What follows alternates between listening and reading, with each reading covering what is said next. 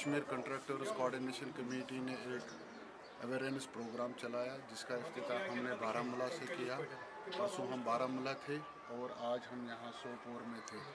कि ये awareness programme ये है कि हम जो भी ठेकेदार है, यहाँ के जो कश्मीर के सारे ठेकेदारों को पहले तो हम यूनिटी करना चाहते हैं। एक तो पहले ये इनको कि हम यकजती करेंगे।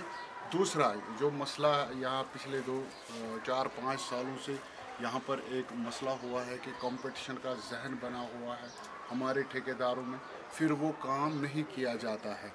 जिससे हमारा जो वर्कस प्रोग्राम है, जिसमें जो पूरा स्टेट का वर्कस प्रोग्राम वो लैपस होने को जा रहा है। वही ये एक अवेयरनेस प्रोग्राम है।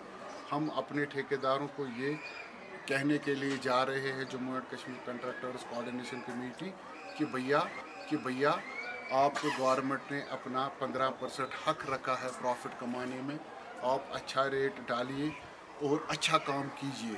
हम सब स्टैंडर्ड काम से हमारा कोई Jammu Kashmir contractors coordination committee सब स्टैंडर्ड काम के बहुत खिलाफ है, जो कि हम अपने ठेकेदारों को ये अवेयरनेस कराना चाहते हैं कि भैया, आप ठीक रेटों में काम कीजिए और वो अच्छे रेटों पे काम कीजिए।